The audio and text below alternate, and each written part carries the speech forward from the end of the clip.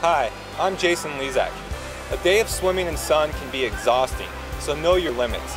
If you or a family member is a weak or non-swimmer, wear a life vest. Everyone will enjoy the water much more, and most water parks offer life vests free of charge. It's nothing to be embarrassed about. Be water aware. Make sure weak swimmers and young children always wear a life vest. Brought to you by the World Water Park Association and your local water park.